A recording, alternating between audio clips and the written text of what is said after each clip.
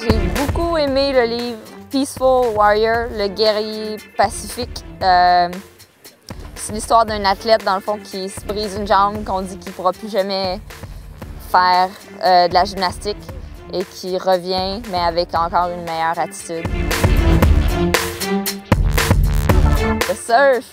J'adore faire du surf l'été. Euh, il y en a une place à Montréal, puis euh, ouais, plus possible le surf, j'adore. C'est pas une phrase, c'est un regard.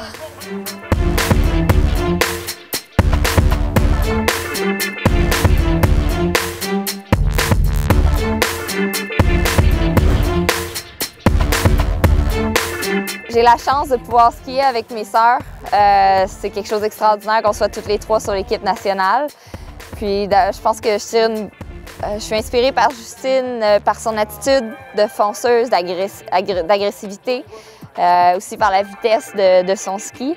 Puis pour Chloé, je dirais qu'elle m'inspire par sa façon qu'elle aborde les courses, comment elle voit les choses. Puis ça, je trouve ça vraiment, vraiment cool.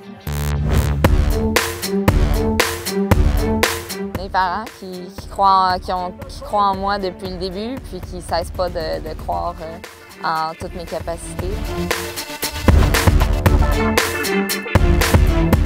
Aller aux Jeux olympiques, le prochain qui serait à Sochi 2014.